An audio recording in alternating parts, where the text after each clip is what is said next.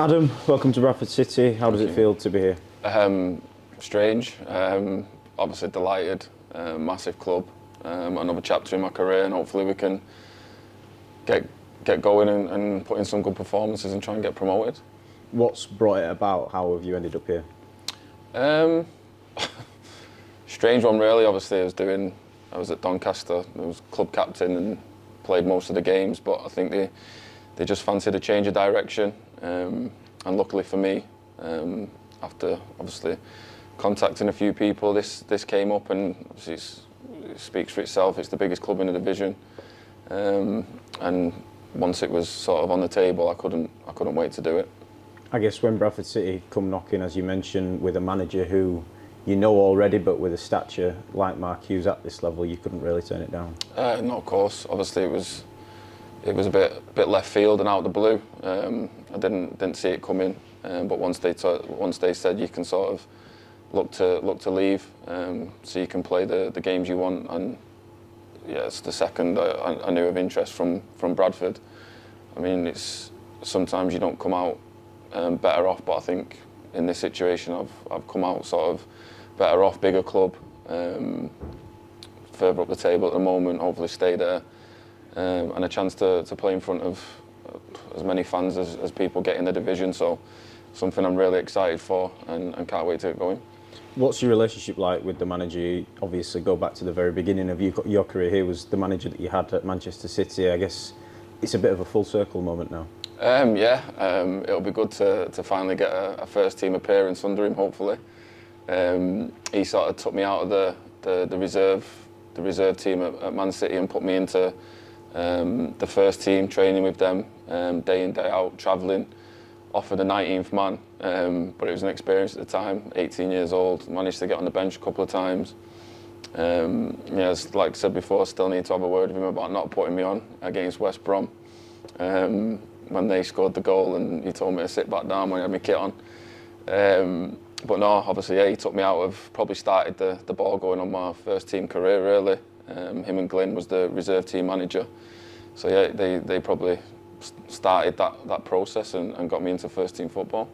We know you're a midfield player coming as captain of Doncaster Rovers, vastly experienced, close to 500 appearances in your career so far. What kind of a player can we expect for those who perhaps don't know too much about Adam Clayton? Um, someone who's going to give everything, um, try and help it, try and help others, try and try and get the best out of others.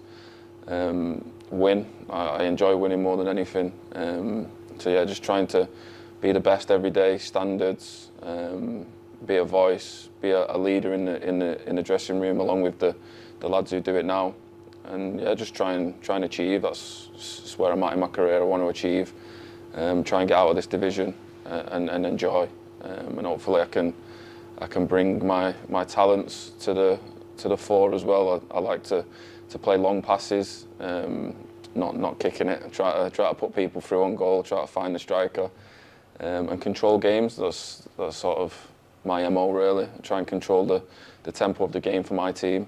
Um, hopefully, I can do that. You've played at Valley Parade before as recently as this season on the opening day. What kind of an experience was that, and how much does that whet your appetite for now? What you're going to be experiencing on a, a weekly, fortnightly basis? Um, yeah, of course. we were having this talk last night. Actually, me and my dad. He said because uh, obviously he came to the game. He said, "Could you not sign for them?"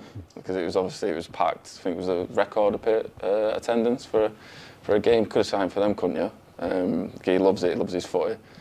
Um, and yeah, it's obviously like I say, it's massive, massive club. Um, the missus and, and uh, my dad said it was you couldn't move walking around the ground, things like it was like a Premier League game.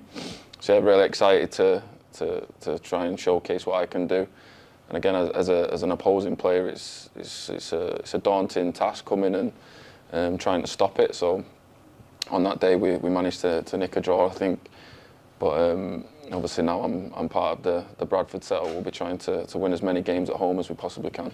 I guess coming into a club having played the first half of the season at another club in the division, it helps you knowing the sort of teams that you're going to be playing for the remainder of the season, knowing the division, knowing the level. You can bring quite a lot to this side. Um, yeah, hopefully. Um, hopefully that's what the, the manager and, and Glyn have, have looked to, to bring me in to, to try and have an impact. Um, and yeah, like, like I say, I played a lot of the teams. I looked at our fixtures. um, that we've got to go. I think we've got some some tough games in, in, in the next few weeks, um, and then we've got a really good run uh, to try and put something together. So I think it's it's promising. We've been in the playoffs most of the season. So yeah, it's about keeping the confidence, keeping the ball going, and uh, and and try to climb up that league. You mentioned that word promotion. I guess on a short-term contract coming into a building until the end of the season, you, you've got that focus. You know exactly where you stand and where you're going to be for the rest of the season and what your focus is between now and the end. Yeah, of of course. I think if if I can come in and, and impact promotion, that only makes my case stronger to to try and get an extension on the contract. So that's what I, that's my aim. Um, obviously, I'm I'm from local Harrogate. Bradford's probably one of the biggest clubs around here. So if I can do another two, three years playing at a, club of this stature, that's that's my ambition. Um, and if I can be a part of a, a team that, that wins promotion, that's only going to help my, my case to, to do that. At home on Saturday, finally Carlisle United, another team doing well in the playoffs. I guess you're looking forward to that. Yeah, of course. Obviously, again, I played for played for Carlisle. Um, we only we Doncaster only played them um, two weeks ago, um, so I've, I've got a good look at them. Um, they're a very energetic team. They try and win the second balls, but a team that can be beat, um, and we can we can have a real good go against them. And looking forward to obviously first game in in the Bradford colours. And I imagine looking forward to seeing those supporters. You got a final message for those?